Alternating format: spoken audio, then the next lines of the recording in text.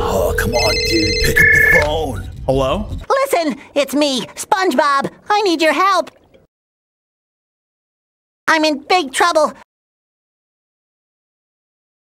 Listen, you do you think you can come down here, maybe rough him up a bit, just to get him off my back? Please. I'm so scared. How am I not supposed to worry? Has been kidnapped and our home is destroyed. And where is in all of this? I don't know. He ran away again. Well, you need to go get him. We need his help. Too scared. He doesn't want to face the consequences of his actions. Maybe if we give him some money? Oh, jeez, this is how you got into this mess. Okay, okay, you're right. I just, I don't know what to do. Oh, Cousin Tom.